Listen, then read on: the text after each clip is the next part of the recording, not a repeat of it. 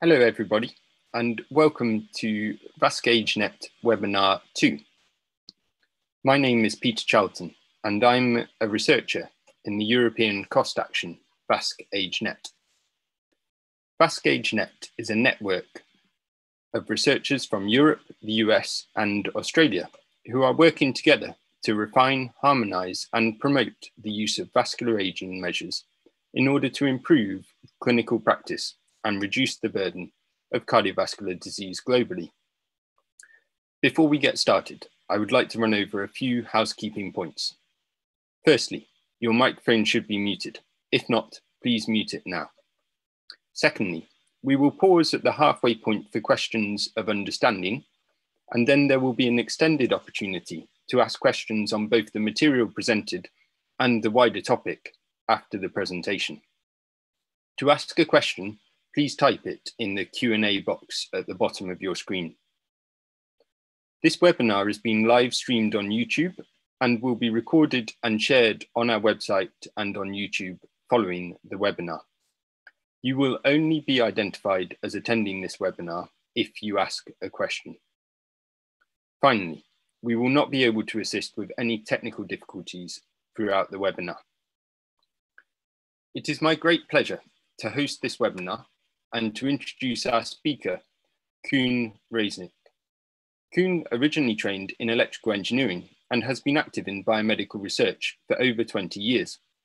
He is currently an assistant professor in the Department of Biomedical Engineering at Maastricht University in the Netherlands. His work includes research into the elastic properties of arteries, ventricular vascular interaction, and cardiovascular adaptation. His work has applications in the field of cardiovascular disease, particularly in hypertension and diabetes.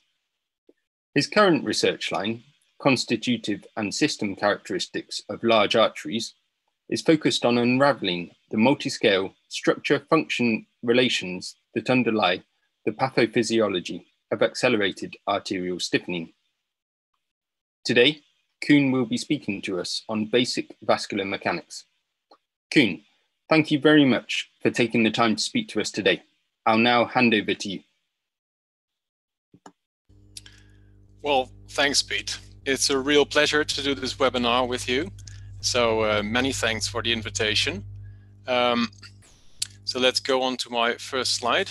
A bit of an introduction to those who don't know me yet.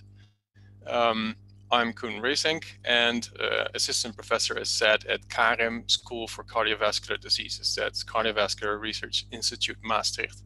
It's one of the largest uh, uh, cardiovascular research institutes in Europe. Uh, I'm also affiliated at the same time with the Maastricht University Medical Center and especially the Heart and Vascular Center. Before I get into my lecture, uh, I'd like to point out these notes. Um, first of all, my lecture will be uh, having some repetition of definitions which were in the first webinar as presented by Stéphane Laurent. Um, the definitions might differ a bit, so if you have questions about that, we will address them. Also, a bit of a disclaimer. Um, I'm citing most mostly recent papers uh, and a lot of my own papers, so I'm not doing well proper justice um, as you as one should in papers. But anyway, I think this works well enough. Um, and I think it's good to know for you that the contents are sourced from educational lectures I'm regularly giving and ongoing work. The focus will be uh, really on large central arterial structure and function. And the structure of this presentation of the lecture is first we go into basics and then I follow that up by application to interpret data. Um, that also means that halfway we have a bit of time for questions to um, round up the first basics part. And um, please note uh, the slide numbers if there are any uh, unclarities or questions that arise, um, then it's easier for us to tackle them. Well, the first question I wanted to start with is um, how is arterial structure determined? And I've coined some um, words uh, that are used in literature um, which cover this, uh, this part. Um, it's development and adaptation and growth and remodeling. And so you will hear these. Well, it all starts with this. Um, during our development, uh, or of any mammal actually, uh, there's a need for perfusion. So there's a, a, a, clump of cells that needs has a metabolic demand, uh, and there's a need for perfusion. Um, that means that some agent, in this case blood, um, will have to flow from one A to B and back. Um, and that creates the circumstance that there are mechanical stresses um, around the cells. Um, so during development, those stresses, uh, mechanical stresses, I will get into details later, they're sensed by um, the structures um, that become vessels. Um, so the local homeostasis, homeostatic rules, um, they they sense these stresses. So that's the vessels locally doing that, and then structural adaptation comes from that, and that'll give uh, a vessel um, a certain function in the circulation. And one of the uh, um, differences we regularly uh, make, uh, discriminations we make regularly, is between macrocirculation and microcirculation. Well, it's on large vessels, but I, I like this video a lot. This is microcirculation. So you see shadows of blood cells flowing, um, and you, you, know, you can see perfusion going on actually. Um, so this is just to offset this picture with later pictures of larger arteries. I think I run this one again. So you see shadows and you see the dynamics of flow there. And these are really small vessels in someone's uh, upper lip. So this is the vascular bed. Um, in the uh, middle, there are the smaller um, vessels and capillaries. Um, and on both sides, left and right, you see the large vessels in the body. Uh, and now we're talking at about these arteries. You, on below, you see the cross section of these arteries, and you can clearly see there are differences in um, diameter and in relative wall thickness. Um, and these ensue, um, you know, these have grown via the rules I'm going to discuss with you. So from this overview, uh, let's get back into this scheme again, because it also um, teaches us uh, a bit about what happens when there is dysfunction. So when something goes wrong, um, very often, it means also that there is a, um, a backward or a feedback to the mechanical stresses as shown here by the red arrow and the um, the, the yellow thing here. So the essence is that with dysfunction, it's progressive, it's a loop. Um, and this is not normal physiology, this is pathophysiology going into vessel dysfunction. So I'll be using this concept as well to talk about um, basic mechanics. Let's look at the um, structure of the vessel. So this is just a vessel, an exa example to look at the uh, more detailed structure. So on the left side, you see the discrimination of the layers of the vessel, which is intima, which is the in, internal layer. Uh, it's the lining of the vessel um, against which the blood flows. Then the media, it's in the middle. Um, it consists of lamellae, so several layers um, that have a similar structure. And the adventitia, which is the outer layer, which consists of um, um, tissue like collagen. On the right side, um, I've pointed out the composition, the main components of the intima, which is glycocalyx and endothelial cells, of the media, that's smooth muscle cells and fibroblasts to some extent, and extracellular matrix, the ground substance, elastin, and collagen. I'll get back to these uh, components later. Um, and the adventitia um, mostly consists of collagen. It's like a, a kind of a, a, safety net for um, excessive distension.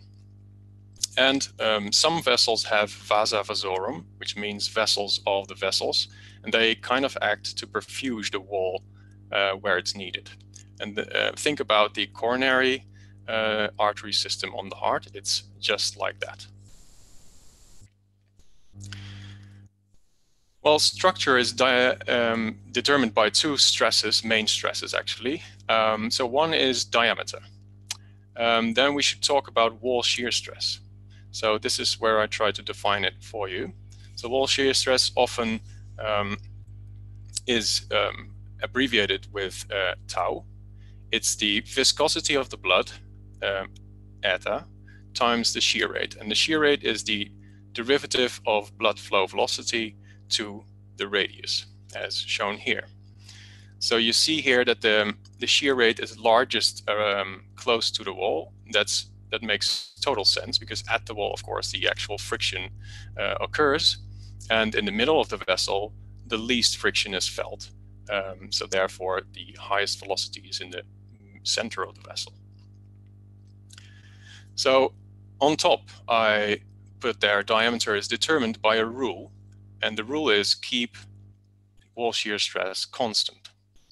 And can actually tell from looking at the process of vascular growth um, that if there is an increase in perfusion or perfusion, so V blood increases, then the vessel will respond uh, with an increase in R with radius. And if that's um, um, in line with the increase in velocity, then uh, wall shear stress will be kept constant. So it's, of course, the mechanism is much more um, tricky than that, but the rule is quite simple, simply explained by this. So let's look at the, um, the actual actors in this regulation. Um, so this is showing you um, um, in a moment a, um, a scheme how flow-mediated dilation works. Um, and I think it's also uh, the basis of the diameter adaptation long term. So if you look here, um, there is a vessel, and this is about the round cross section. This is the long axis in this direction. And here you see a blood flow pattern. Um, so what will happen if I click um, just now? It's quick, and actually in real life it is quick. So if there is an increased flow, um, there will be an increased flow velocity um, shown by larger arrows, um, creating an increase in friction at the endothelial uh, interface.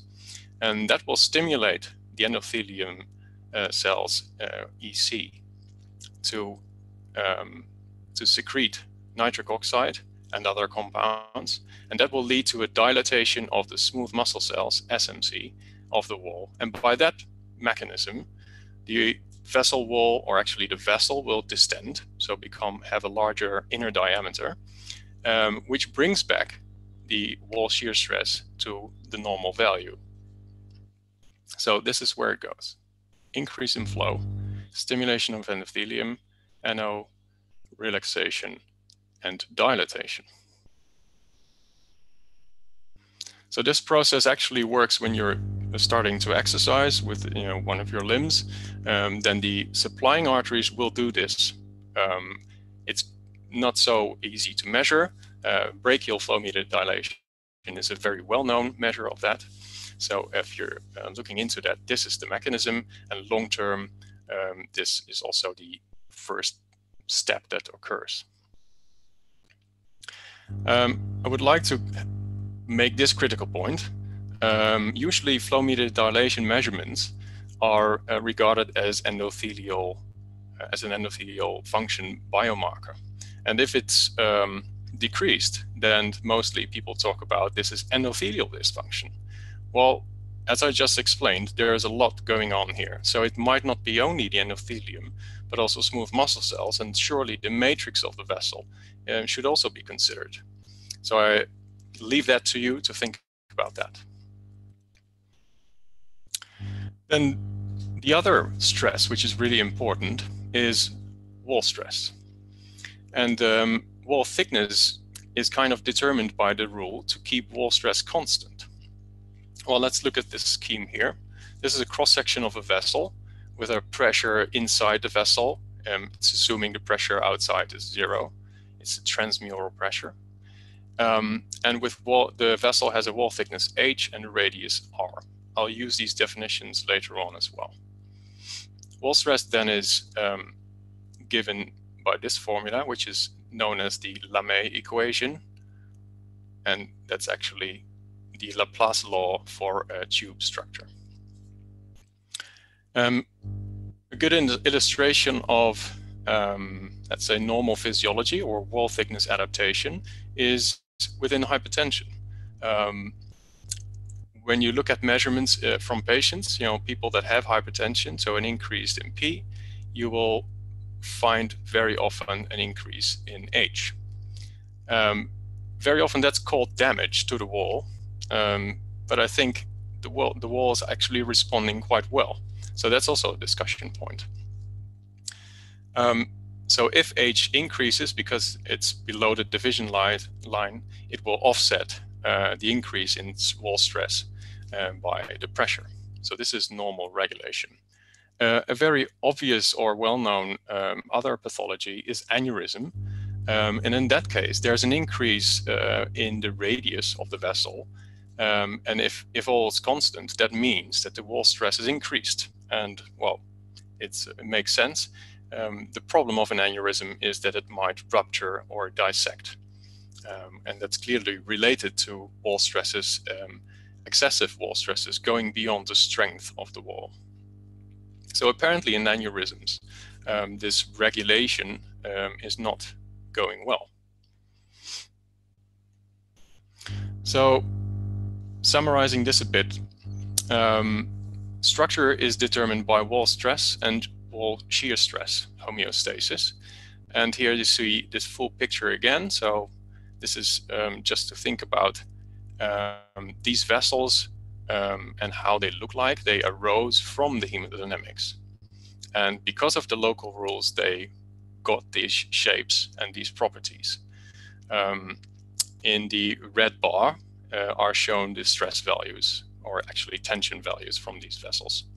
And I think this has been known for quite a while. You see uh, the references to uh, Thomas and also Rodbard, I think, wrote a, a very nice article um, about how the vessel um, do, vessels do this or achieve this.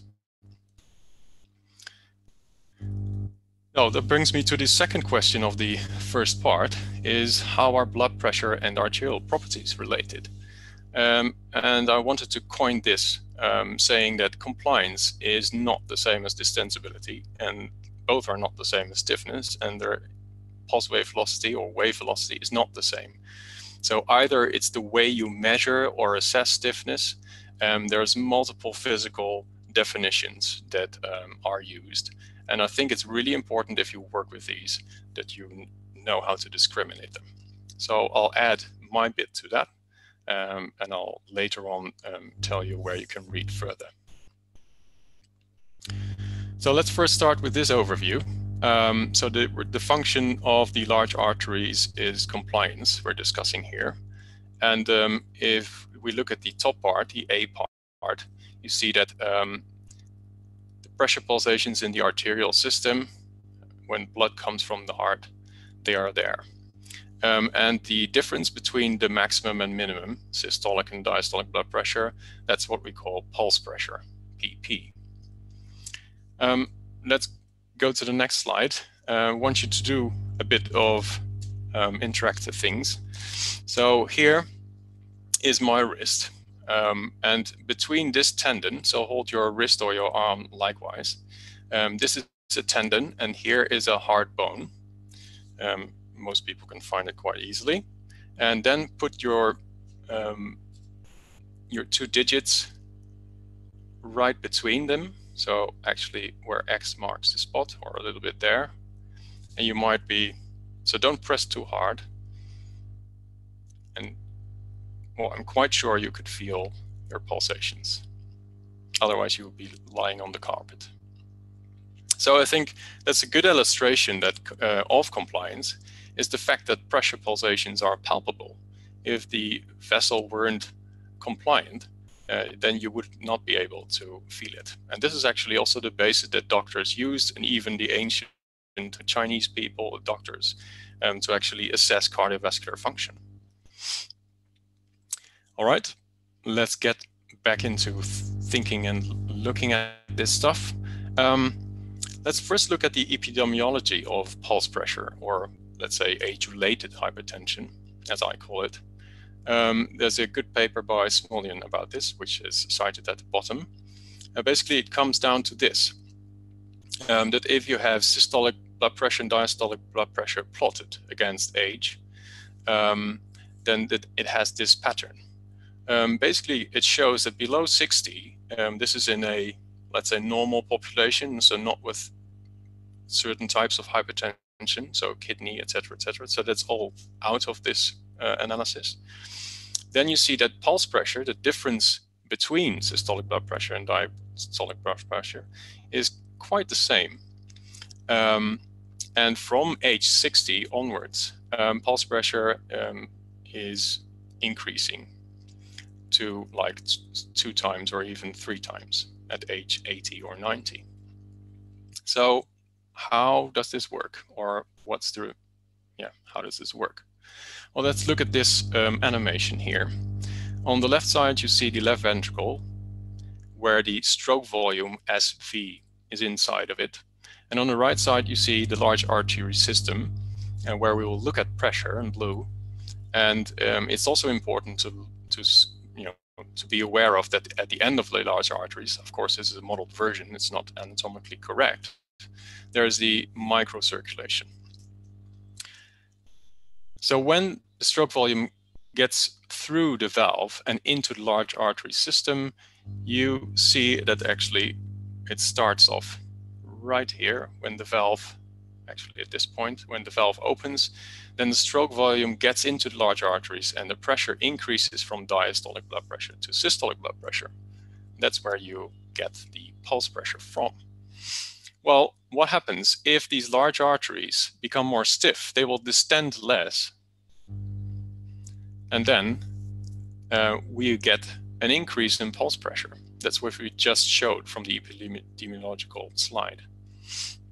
Well, um, if this would go on, then um, elderly people would have a very low diastolic blood pressure, um, and that doesn't happen. Um, clearly, from epidemiology, you can see other things happen as well. And that's um, they have changes also in the microcirculation, uh, which increase uh, resistance, and of course the kidney and um, renin angiotensin system they undergo changes as well related to aging. So that brings back this or lifts up this curve a bit more. So elderly people have a quite a normal diastolic blood pressure, perhaps a bit lower, but will have uh, still an increased pulse pressure, meaning that systolic blood pressure will definitely be increased. And um, the consequences of this is that the left ventricular mass will have to increase. The heart is also highly adaptive to this. So for a long time, uh, people will just go on living. Um, but uh, in the end, it's related to um, adverse outcomes of hypertension. So this is clearly only systolic hypertension I've discussed, which is very directly related to large artery function just to show you a bit of this, so this is from some current work we're doing. So this is the proximal aorta. Um, here on the upper, in the upper corner, you see the fat pad of the heart uh, right there. So the valve is about at that position. And you see the heart, or you see some pumping action. That's what, uh, what you can see. The Let's do this again. Um, the distension of the uh, aorta is not so evident from the video itself, but it's uh, you can see it on the right side where the markers are traced. So every this is another cycle, and this is another cycle. So just to give you uh, a bit more feeling for what it does. So let's get on to the definition of compliance um, and how it's done for arteries. So on the right top, you see C is delta V over delta P. So that's the definition of compliance. So volume changes with respect to pressure changes. Um, and for a vessel, it's very hard to look at volume. And actually, given the fact that length of uh, vessels mostly does not change, we can look at the area, delta A uh, divided by delta P. So this is what people call the area compliance. So on the bottom, it's defined so compliance, area compliance is delta A over delta P. Um, and, does, and thus distensibility um, from area is defined as delta A over diastolic area divided by delta P. Let's look at the vessel a bit. Um, so here you see the diastolic condition or diameter or area and the systolic. So clearly there's a distension ongoing and the difference between those is the uh, delta A, um, which um, results from the change in pressure, delta P. Well, the property of this vessel, um, elastic property of this vessel is distensibility. This, this is the way you could measure it. There are multiple ways to measure it, but this is uh, by far the most, um, well, a direct one. Um, let's see, I think the distinction between compliance and distensibility, that's the point here, is that compliance says how what the buffer capacity of the vessel is. So how much volume can the vessel take with a given change in pressure? And distensibility is really not looking at the vessel like that. It's looking at the uh, elastic property of the wall. Basically, it's saying how much the material is stretched for a given change in pressure. So to make that a little bit more uh, tangible, hopefully, um, there is this um, problem. So um, we have two vessels uh, having the same distensibility. So the material of the wall is said or assumed to be the same or behaving the same. Then uh, with a certain delta P change in pressure, um, the area will change to a greater extent in A in one than in two. And I've exemplified this or amplified this by looking at these gray areas, which correspond to the, um, the areas in the uh, rings. Well, if you then do the math a bit, uh, let's say um, the, effect is three times larger in one than in two, um, then it would look like this. So given that it's the same distensibility, in this case, uh, it's calculated as uh, 47 uh, per megapascal, then um, the delta A would be 1.5 for one, uh, um, and the um, diastolic area 6. And that will give you the same number as this ratio because it's basically the same uh, fraction. Um, it means that uh, the compliance that's not taking into account the diastolic area, that will show the difference. So conclusion here is compliance is different in this case, where distensibility is the same. So this is, well, as clearly, uh, I guess, an illustration of that both properties are not the same. Um, there is some literature which actually defines compliance as distensibility. I think that's fair, but it might confuse you. So that's why I put it in here. I think with aging, uh, I've just discussed, but um, the, the relationship is this. So a decrease in distensibility, so a stiffening of the wall material um, will lead to, um, in the end, uh, a decrease in compliance. Um, but uh, as I shown in the epidemiological slide, um, the real effect uh, becomes only noticeable after 60, age 60. This video, I think it's uh, uh, also a nice um, illustration to make it a bit more tangible of what else happens in the arteries. Um, so here, in the far back of this video, you will see uh, an LVAD, which is a left ventricular assist device. So it's a blood pump with a valve, and it'll pump blood, uh, sorry, it's not blood, it's water into this bicycle tube. And uh, the length of this tube is about two meters. Um, and what you will see is a wave propagating from the LVAD um, towards you. Um, and you, will also see uh, some uh, reflections. And the wave propagates with a pulse wave velocity of about 11 meters per second. And that would be a pulse wave velocity of somebody of 70, 80 years old. So here it goes.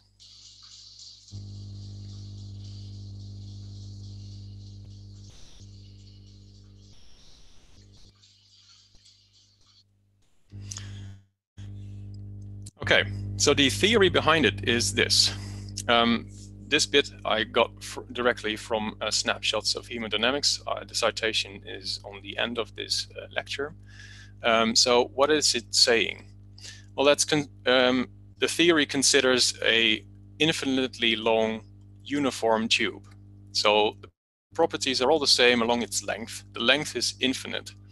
Uh, and then it considers um, the properties at some position of the artery.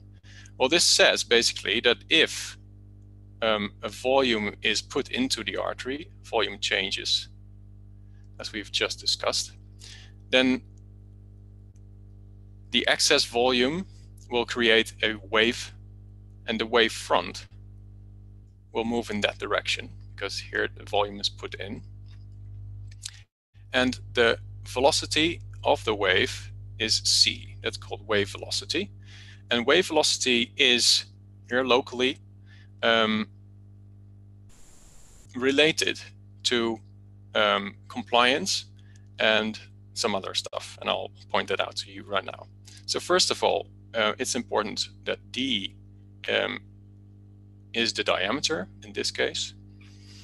Um, the area obviously is then assume that it's a round structure. It's pi times the radius squared, and the radius, of course, is half the diameter. And this vessel wall also have a thickness h and a property uh, e, e inc, I'll just not put E inc there. Um, and that's the Young's elastic modulus. Um, rho, as put there, is the density of blood. And then we have kind of defined uh, everything here. So wave velocity is um, you know given here, and I think both are um, both uh, formulations are equivalent, but these have been done by uh, Newton and Young or Frank or Bramwell-Hill equation, very often quoted, uh, and this is the Moens-Korteweg equation. Um, it's really important to actually note the assumptions. I think the most important ones um, are that the viscosity of blood um, is negligible here, is uh, negligible so that's the viscosity. That's not the same as density. Um, the other one is that H, it's thin-walled. So H must be much, much smaller than the diameter or the radius. And um, the third assumption is that E applies. So it, it also means that the material behaves linearly uh, elastic. And what does that mean? Well, I can show you on top here. It kind of means that if your pressure changes like this, so it's a triangular wave with a diastolic and systolic pressure. So this is delta P. Um, then what you will get is a concurrent change, sorry for that, my drawing skills are still improving, is a concurrent change in the diameter or area. So the troughs happen at the same time and the peak happen at the same time, and the waveform is exactly the same as for pressure.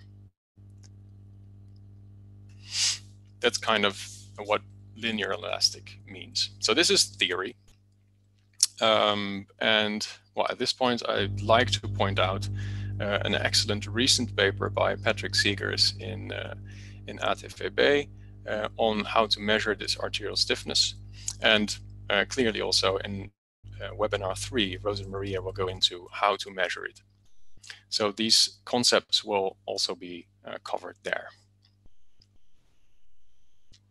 So I think we're kind of halfway. Um, so uh, we would like to invite you to ask some questions. So Peter any questions from the chat. Thank you, Koen. Um, thank you very much for a helpful and accessible overview. Um, as mentioned, if you have any questions, please do insert them in the Q&A box at the bottom of the screen. Um, I, several of my questions relate to the wider topic, and I was interested in the, the rules that you give for the diameter and the thickness of arteries um, and the implications for clinical practice. But I think um, we'd like to save the broader topic questions till later on. Yeah, that's good. And uh, also the, the second part of this uh, lecture will actually um, do a bit of that. So go into that as well. Fantastic. Given that the, there are no pressing questions of understanding so far, um, in the interest of time, could I suggest that we move on to the second part and then we'll be delighted to take further questions at the end? Yep, sure. Is there one coming up or I think they're they're now getting people are typing them. So I might we might get quickly uh, do them. So if you can read them, Peter. So um, firstly, would increased viscosity of blood increase arterial stiffness? Uh, ooh. Well, the, the, the stiffness concept is um, is related to the assumptions. So um, I cannot say yes immediately. Um, no, it's actually difficult to, to look at that because of the definition itself. Um, I think the viscosity of, well, clearly the viscosity of uh, the blood itself will endow, let's say, um, the arteries with a resistive term. So you have a loss of energy um, that makes the propagation of the wave or the, the mechanics of the wall quite complex. So actually you get a mixture of both. Um, there's a lot more to say about uh, velocity and wave velocity. Uh, one thing is that, for instance, wave velocity in uh, veins is um, about the same um, magnitude as the, the, flow velocity. In that case, the wave velocity which you will observe uh, while you're measuring it will be flow velocity plus wave velocity. That's different from arteries, where the flow velocity is much smaller than wave velocity. So there, it's also the sum of both, um, but the, the flow velocity itself will have less of an impact on its value. But that's quite detailed for this. But hopefully, at this point, this is a, as good as an answer as I can give. Thank you. And um, we have other questions on uh, which of the properties such as compliance, distensibility we should look at in clinical practice, how we take these measurements, um, which we could address now or after your second part? Yeah, I think second part, yes. Uh, I think quick answer right now is that um, while there's a lot of practical um, issues, but also practical or pragmatic um, um issues in choosing what to measure and when to measure. So it's also what I'm not really covering here, uh, but I think uh, after the second part, it's uh, easier to discuss that. Thank you. And just a final question of understanding. Um, how would wall stress and deformation be affected by the local curvature of a vessel? Um, well, thinking if curv curvature is in the circumferential plane or transverse plane. Um, actually, that's also the topic of the next part. Um, so we can, I can only answer that when you're actually looking at what happens into the wall or in the wall. Um, and it's also important to note that um, we are using assumptions that say that the wall is homogeneous um, and mostly uh, linear around um, its operating point. Of course, that's not true. So we're really working with approximations that seem to be giving us some insight into the data, um, but we know the real vessel is much more complex, as I already showed a bit. So with that, I would like to continue in the second part. Thank you. Okay, so we go on. So the question I'm addressing here is how does aging change basic arterial mechanics? Um, and um, I think it's important to note here that uh, it's what I'm presenting is highly simplified, though because it's based on key findings and assumptions, um, I think it will do good justice to um, the understanding of basic vascular mechanics. So in this reviews, um, we've looked at the various factors going on and I think these were looking at clinical papers uh, especially. So clearly, a lot of studies are focused on risk factors, um, and I've put here the main ones, dyslipidemia, hyperglycemia, and hypertension. So these system level um, disease um, processes um, or yeah, factors, they have an in influence on the processes that define the tissue of the vessel. And I've named here a few. So degradation, calcification on top, um, turnover and glycation. Um, there's synthesis, contractility, and proliferation if we're talking about vascular smooth muscle cells. We'll talk about that um, a bit later as well. And surely the process of adaptation, which I've just discussed. Um, this all creates the circumstances for a vessel to form its structure um, with these major components shown here, elastin, collagen, and smooth muscle cells. Um, and from that, you will get the um, the function, so the distensibility and pulse wave velocity. So um, this graph on the bottom, it's not easy to um, to discuss it with this page, um, but we'll do that in the next. So the basic mechanics of the arterial wall, um, I thought could be summarized by these. So here's the cross section of an artery again, um, with um, wall thickness H, radius R, transmural pressure P, um, wall stress, so that's the force um, holding together the wall um, per unit of area where these walls touch. So that's that's makes it a stress or a, pressure as well. So it's the same unit as P. And um, an elastic modulus, um, Young's modulus E. I've used the simplest um, icons for this. Um, so here on the right side, you see the Laplace law or Lamé's equation as well. So sigma is P times R over H.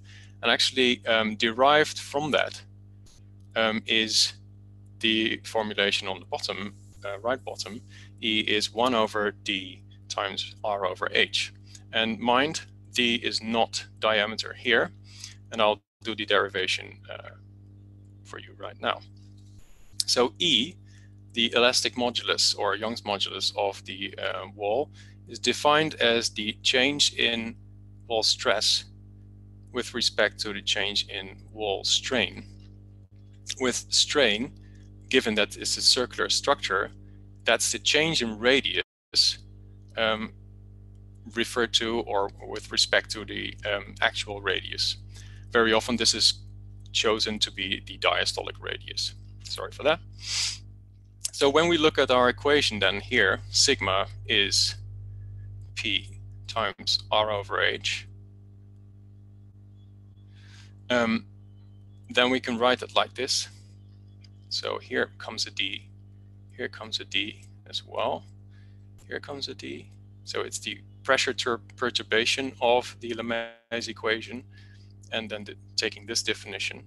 Um, and then we can substitute um, E in here as well. Actually, this should have been delta epsilon. Um, and so we can write this one as R dp r over h. And here is um, dr. Well, uh, the d, as I told you, is here defined as dr over r times dp, which is um, not the area distensibility, but it's the diameter or radius distensibility. So radius distensibility. And um, if you look back on the first slide on compliance distensibility, then you will see the similarity between those. Um, so this one is substituted by 1 over d because it's the reciprocal of that, and then you get into exactly this equation there.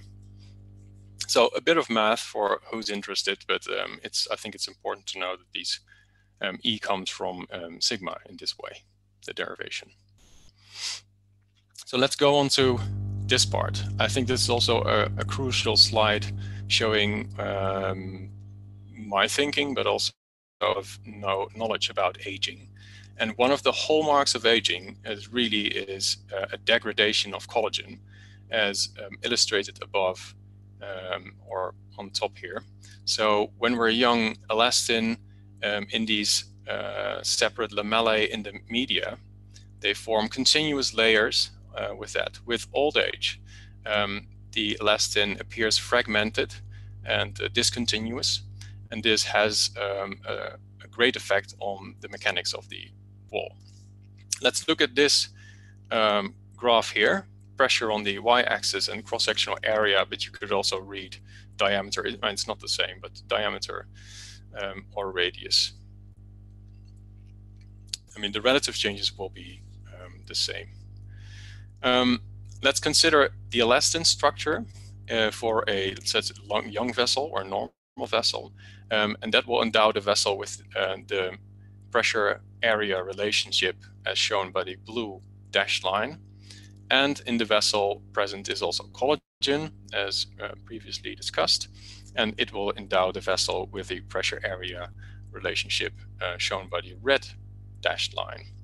Uh, what's really important to note is that the red dashed line only starts here. So only at a certain distension or deformation of the vessel wall, uh, collagen gets into um, in, into contributing to the um, uh, stiffness of the vessel. That's often referred to as recruitment.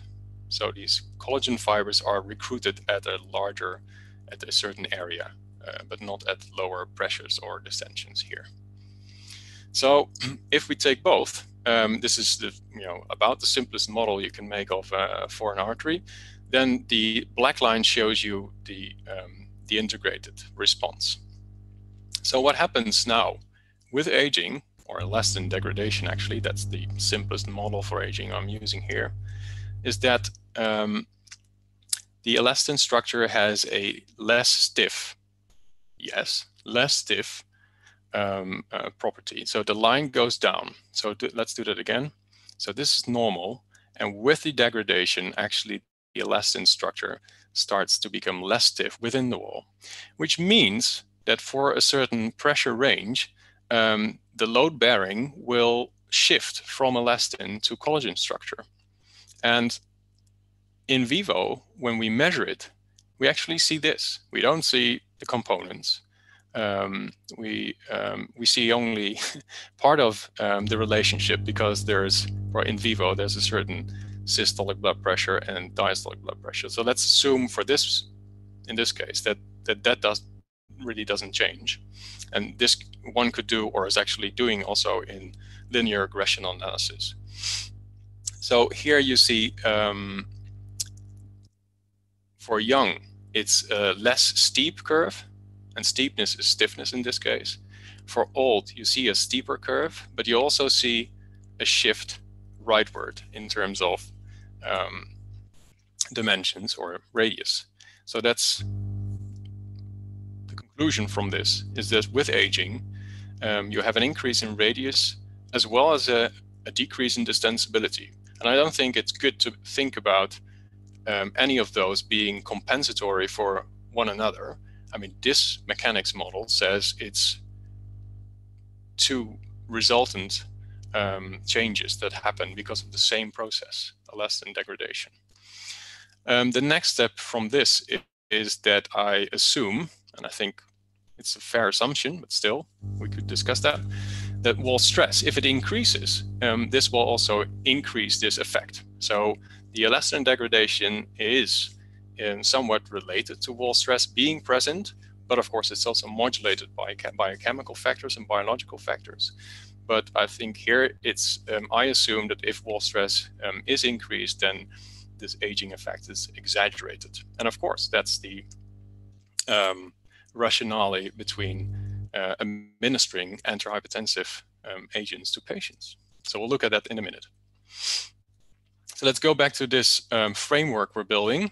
So here again, the Lamé equation and Young's modulus formulation, and I'm adding to this this bit. So uh, now I'm looking at um, the the dynamics of aging as um, driven by elastin degradation and modulated by wall stress. And basically, so these are inputs, uh, two inputs, and the output is dia uh, and radius. So before we go into looking at data, just um, a slide on how these can or are measured. In this case, I'm just focusing on uh, ultrasound techniques because the, the study data I will present later um, actually did this. Um, so IMT can be measured um, as shown here from this graph as the distance between the intima uh, lumen echo and the media adventitia echo um, sh as shown here. So wall thickness, H, can be um, estimated from the intima media thickness from an echo uh, recording. Diameter is uh, the adventitia adventitia diameter, which is the outer diameter. And of course, half of it is the radius. Um, and I'm using here as well the definition for distensibility. So distensibility previously in, oh, introduced to you. So these can come from well, pressure measurements and from ultrasound measurements. So this is what's been used um, in the CATOD uh, study. Um, that's a study by uh, Rosa Maria Bruno and her group uh, in Italy back then. Uh, this is an outpatient cohort where uh, from a hypertension clinic, um, and we've looked at the number of uh, patients, um, looked at three to four years follow-up uh, with treatment as usual. So anything happens actually.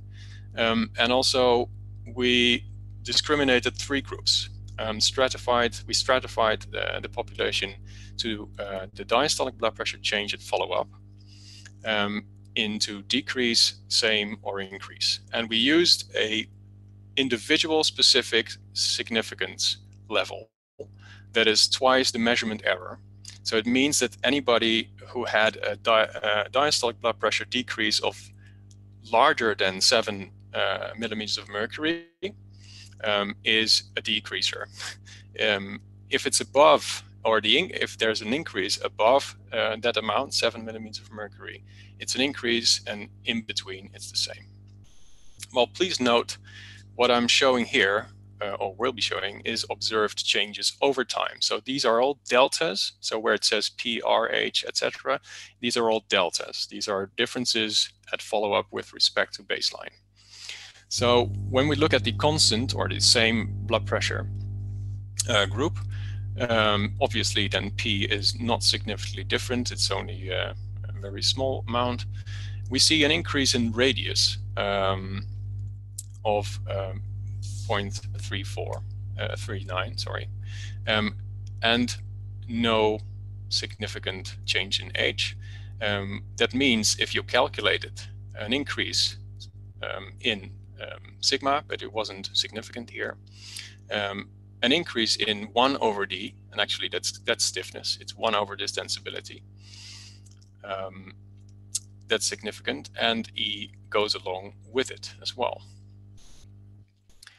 So these things um, are come out markedly from this analysis. So it says that if blood pressure doesn't change, there's an ongoing uh, progressive stiffening, um, especially and, and clearly an increase in radius. So let's go back to our framework to analyze it. So apparently this happens, um, a decrease in D, in the distensibility, and uh, an increase in R, which will lead to an increase in stiffness, so Young's modulus of the wall. It also means if um, R increases, that on the top you see that if R increases, sigma will increase. And then actually what we have here is a progressive aging cycle.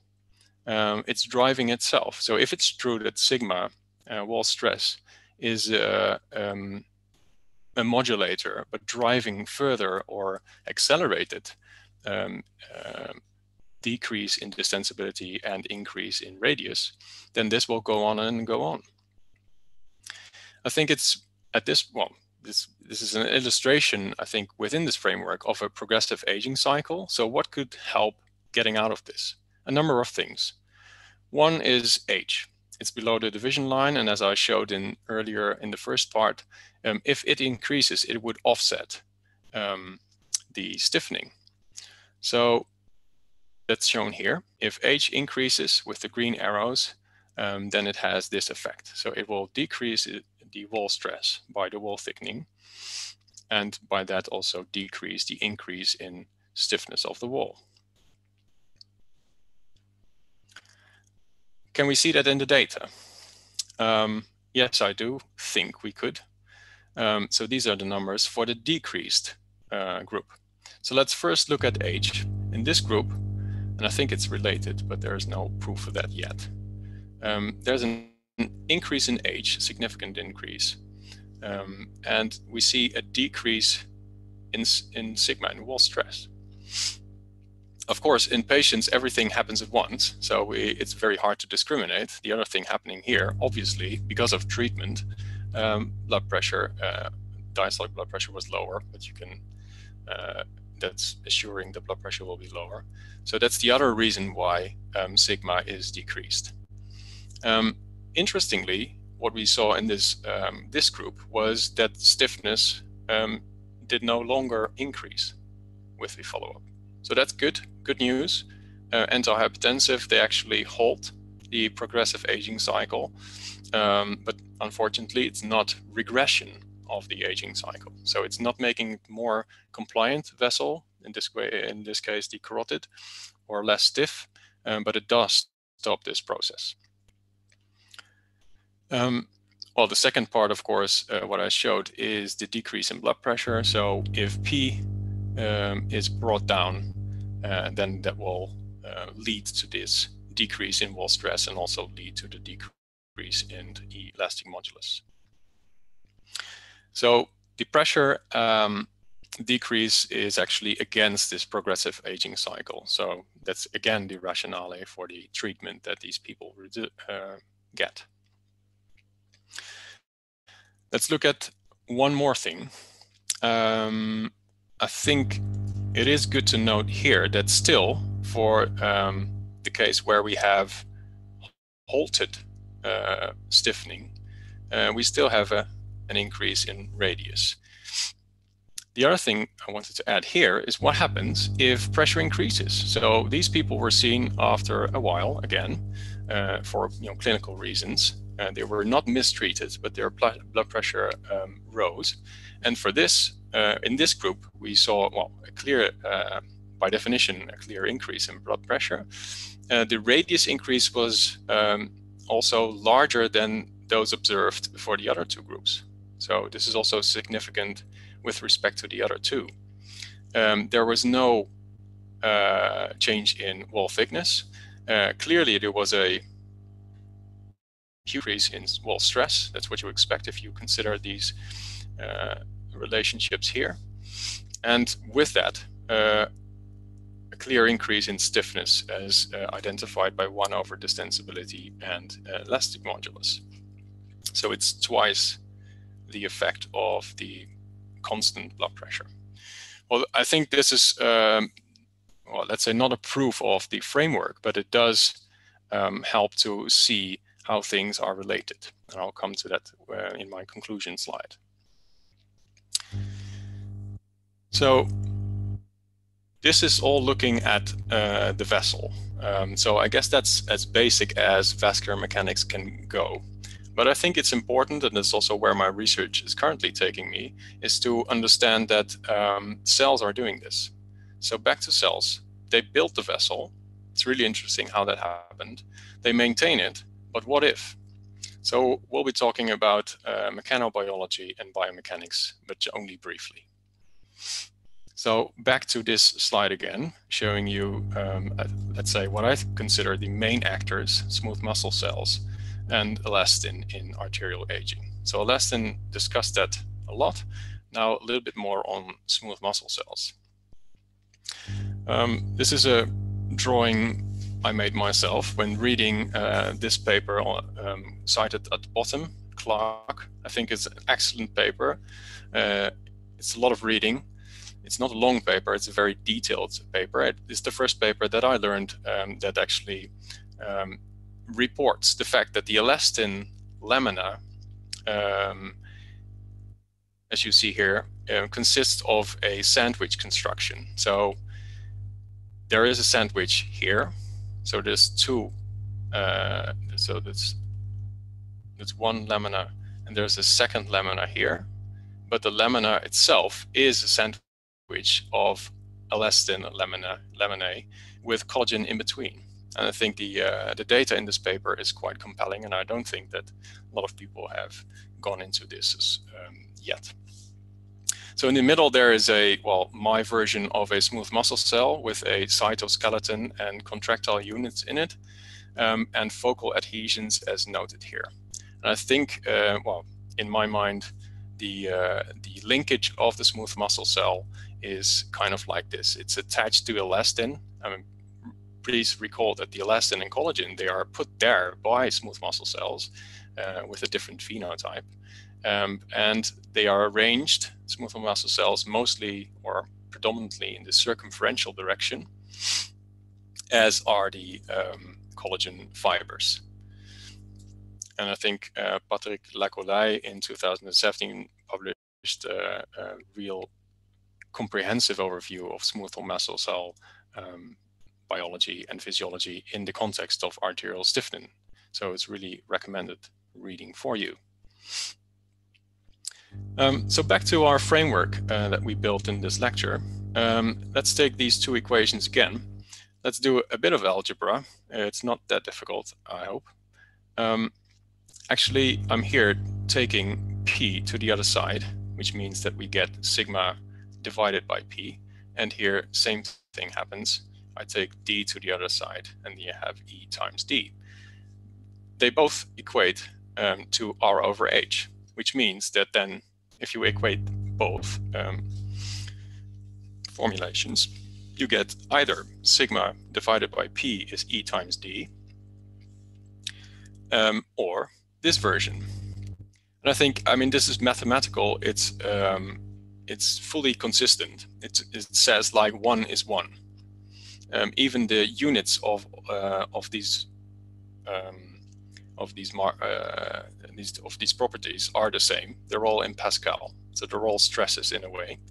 Um, but that's not what I think is the uh, use of this formulation. I think it's because this gets us thinking about tissue level things that happen. So wall stress to some extent is dealt with or felt by the tissue itself. And the tissue property is the Young's elastic modulus. Well, that really translates, that's what the equals um, says in my view. It translates to what happens uh, with pressure and distensibility at vessel level. So to me, it's kind of a reminder of the multi-scale uh, structure-function relationships that matter in arterial aging. So this is my last slide on this topic. Um, uh, I put here a bit of links there, uh, linking me mechanobiology and biomechanics. Um, one notion that's in the literature is that wall stress regulation, as I have reported or uh, introduced to you, um, it seems to be somewhere at tissue level that this is um, something like a stiffness homeostasis. So vessel, um, smooth muscle cells, they tend to um, keep the stiffness of the matrix around them um, the same. I think that's worthwhile considering. Um, also, the wall is organized in structural units, um, even radially and circumferentially. I think that's uh, a cue or uh, some information which tells us what the uh, the rules are or how cells uh, do this. Smooth muscle cells, they can sense changes in stress. Um, I would almost say like there is multiple sensors. So that's unfortunate, which means that it's unfortunate in the sense that if you study one pathway, there will be another pathway, maybe even at a different level, uh, which might get into the way of understanding or planning experiments. So I think we should consider it and still work really hard on understanding that. It's a definite challenge. Um, and the other thing is there are sensors, but there are also um, actuators. They can respond to changes in stress, and smooth muscle cells they do that by changing contract, uh, contraction or contractility. They might reorient or synthesize matrix or migrate or proliferate. A lot of literature in biology has been spent on this. Um, and I think historically, most of the contractile behaviors has been studied in smaller vessels. And I, th I think it's time that um, for larger vessels, we start looking at it. Um, on the bottom, I think some excellent uh, reading uh, for you to go into this. So I would like to wrap up. So my summary of this um, lecture is uh, with its key learnings and discussion that arteries were built by cells in response to changes in mechanical and hemodynamic loading. And aging with its hallmark elastin degradation increases stiffness and outer diameter. And I've noted here, uh, well, let's say my personal reminder of what happens in the wall matters uh, when you measure uh, or trying to assess aging uh, by measuring vessel wall properties or vessel properties. And I would like to put forward some discussion points. I think wall thickness clearly cannot be a stiffness marker. In some papers, it is used like that or discussed like that. I think the present data I've shown shows that it cannot be used as a stiffness marker. Um, and the other thing is that to assess aging, stiffness, um, for instance, 1 over d or pulse wave velocity, it needs to be considered in relation to geometry. Otherwise, we might not entirely see what's happening. Uh, I have not discussed it, um, the pressure dependency of uh, measuring uh, wave velocity and stiffness, um, but it's clearly there. Um, just this might slide, the citation of snapshots of hemodynamics, and I think the contents of this lecture are, uh, are uh, well dealt with in these chapters uh, for more thorough reading, but I think it's also an excellent introduction, especially if you're foreign or new to the field. So chapters 9, 11, and 21, well recommended. And with that, I would like to conclude and uh, go into our questions and answers. Thank you very much. Um, if anyone has any further questions, please do add them to the Q&A box and uh, we'll address the questions asked so far. Um, Koen, thank you. Firstly, we have a question about taking measurements in animals and wondered if it might be possible to take these measurements using echo. Yeah, I think with the um, regular high frequency or high resolution ultrasound machines, I think VisualSonics, uh, Fuji, uh, have systems around. Uh, I think it's, well, yeah, I know we have a system ourselves. It's possible to look at the larger arteries and actually uh, look at distension waveforms with ultrasound, much like the ultrasound slide I just showed. Um, IMT, that's more difficult. That's, I think, still beyond resolution there. Um, so distensibility you can get. Uh, of course, for distensibility, also pressure needs to be known.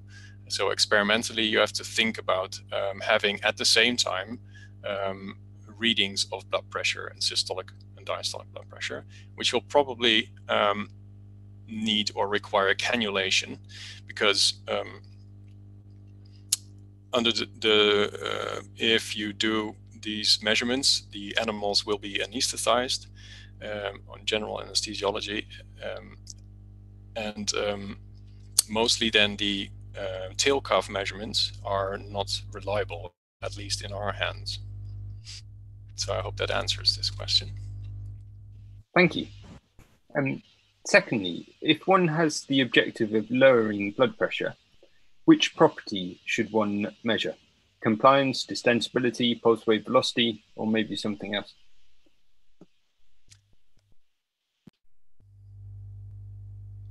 Well, there are multiple reasons to lower blood pressure. Um, clearly, uh, blood pressure is lowered by looking at uh, by the experts, so so the clinicians that look at multiple factors, so risk factors, etc., etc. So the the measures um, you mentioned are all measures that have a relationship to the large artery uh, part of hypertension. So I think any of those would do. Um, and I think the, the most important thing is actually you can also see that in, in the literature we've or the publications we've we've um, been doing from um, say 2015 on.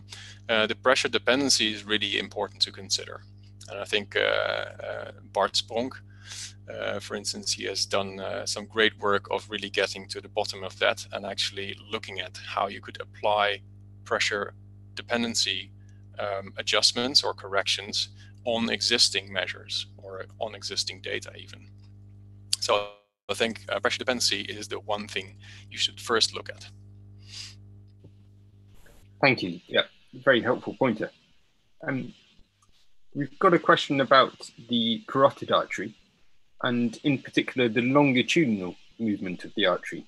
So what is the source of longitudinal movement and secondly, could your bicycle tire tube setup model this? Yeah, well, the um, well, the bicycle tire clearly is not a good model of an artery, um, and I'm saying that because uh, there's quite some literature um, around looking at the biaxial mechanics of vessels. Uh, we're doing uh, our studies uh, experimentally also looking at um, those properties. Um, Jay Humphrey's lab from Yale University is really well renowned about that. So I think reading um, reading in that area is really important.